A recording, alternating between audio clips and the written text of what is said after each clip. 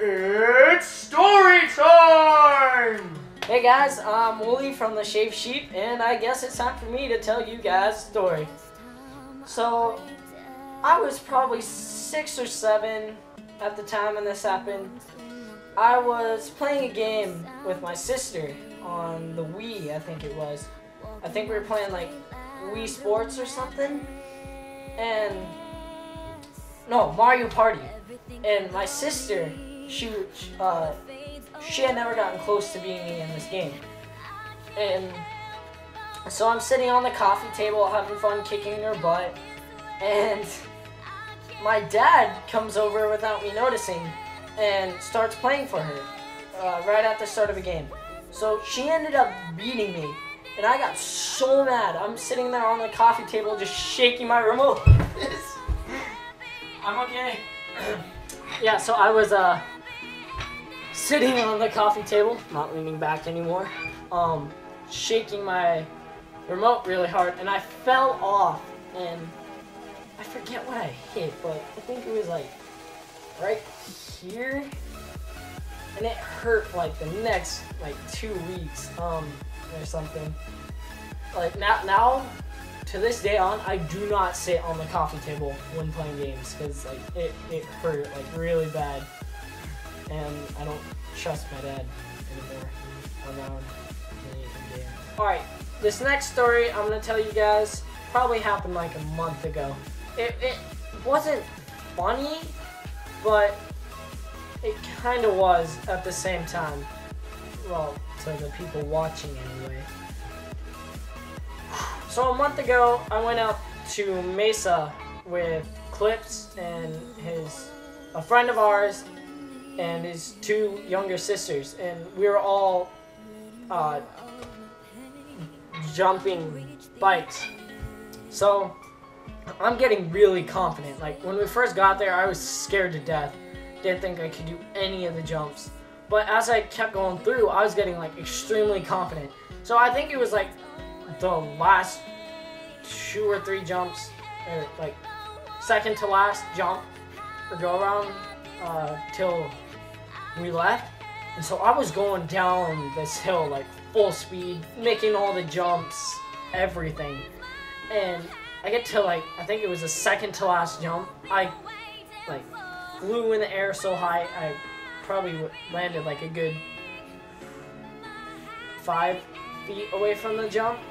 And when I landed, the bike went from like this in air to this. It hit and fell over sideways, except that was the bike, not me. I flew through the air, landed on another jump, I think, going like up it and stuff. So I slid like this going up, and then I slid back down the jump. I mean, it wasn't that big of a jump, the one I went was sliding down, but oh, it hurt because I cut like right here, here, here, my legs, because I didn't have any pads on it. All I had on was my helmet.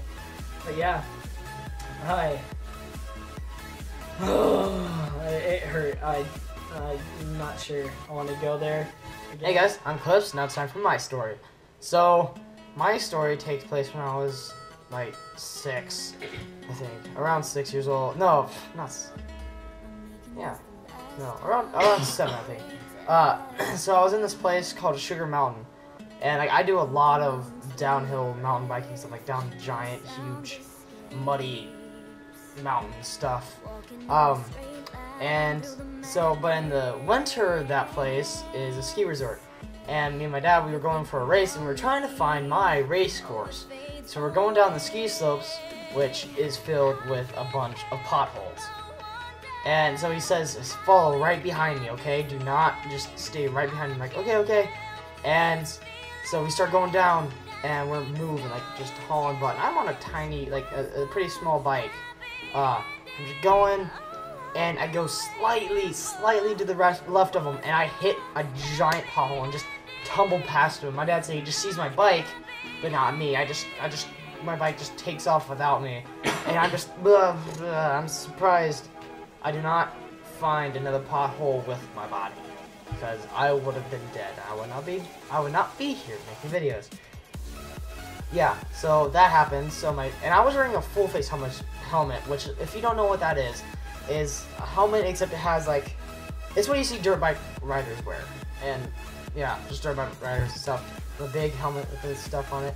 And but my face still got bruised and stuff, got cuts all over my face somehow. That's how hard I hit. That's just like my face pounding into the ground.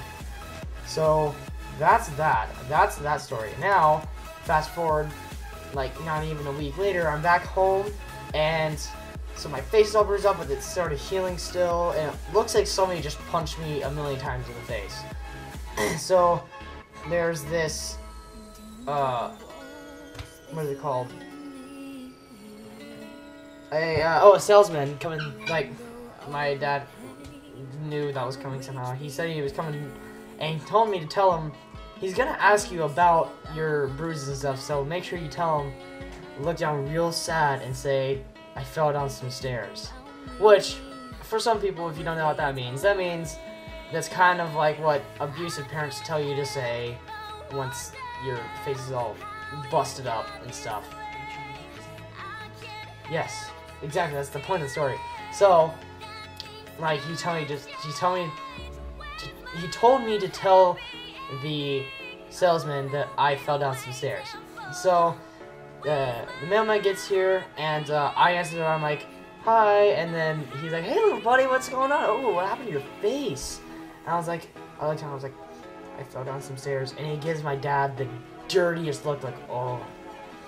He like he's like I hate you and my dad me and my me and my dad we kept straight face for a little bit and then we just busted out laughing and he was so confused.